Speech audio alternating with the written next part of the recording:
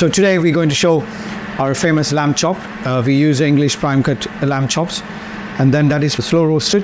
We take homemade nice tandoori mango sauce, a drizzle of olive oil, extra virgin olive oil on top. Now we're going to char grill on a flame grill for six minutes till it gets nice charred color on the top. Now it's ready, nicely charred. You can see this is best. I like to have this crust when you place the, the potato.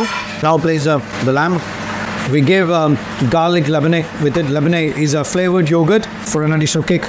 I put some pickled jalapenos, some dill leaf as a greens garnish, a touch of extra virgin olive oil to drizzle around. Perfect starter, even for winter, be it summer, you know, nice barbecued flavor. You get a nice char flavor to it.